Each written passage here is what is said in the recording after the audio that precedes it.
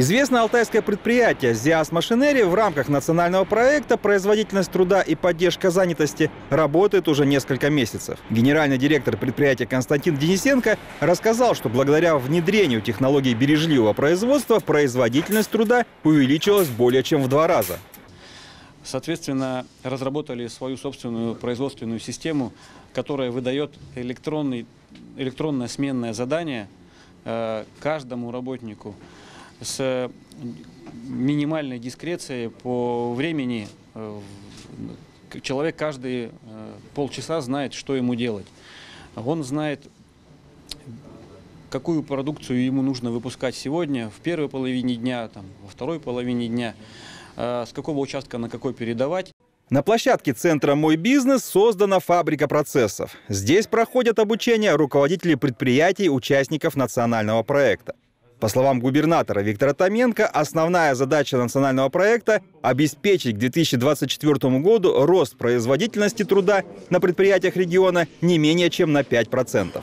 Мы как раз тот регион, который может показать и доказать, что это дело действительно э, работающее, эффективное, дающее результат, э, вполне э, способное к реализации в любом регионе нашей страны.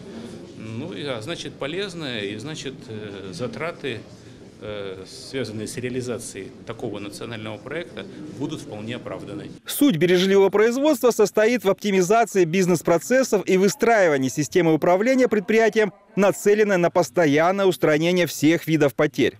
Благодаря фабрике процессов руководители учатся устранять эти проблемы буквально своими руками.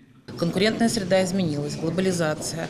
И э, есть возможность поработать со своей себестоимостью, э, мотивирует для участия в проекте. И, на мой взгляд, бизнес – активно и осознанно принимают участие в проекте, а это гарантирует нам то, что они не бросят на полпути начато, и к 2024 году будут продолжать и развивать э, свои производственные системы и повышать свою эффективность. Напомню, принять участие в национальном проекте могут компании с объемом годовой выручки от 400 миллионов до 30 миллиардов рублей.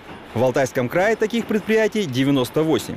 Участники проекта получают доступ к технологиям бережливого производства, к специальным программам обучения, а также мерам господдержки.